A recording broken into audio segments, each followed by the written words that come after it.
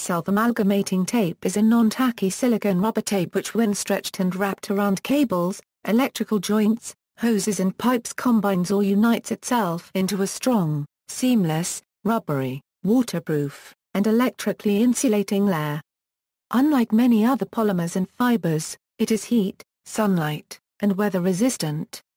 This type of tape is also described, particularly in the United States, as self-fusing, or self-vulcanizing.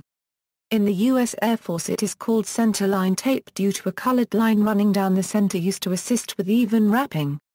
It is also called F4, rescue, and fix-it tape. While not adhesive to the repaired object, it is self-adhesive, securing the bond well. It is supplied in rolls with an interleaving layer, to prevent the tape from amalgamating before use. It may optionally be made with an iron oxide additive which adds high thermal conductivity. This tape is used extensively in aviation and aerospace wiring applications as a splice or wrapping tape due to its non-flammability. It can be used for emergency repair of leaking low-pressure hoses and pipes. Compared to most other electrical and utility tapes, centerline tape is not particularly tough mechanically. Silicone rubber feels soft and is also susceptible to cuts and abrasion, having low tear resistance. This weakness is made worse because this tape is wrapped while stretched, and remains under internal tension even while fused, so that any nicks or cuts may start to tear and expand without additional external tension.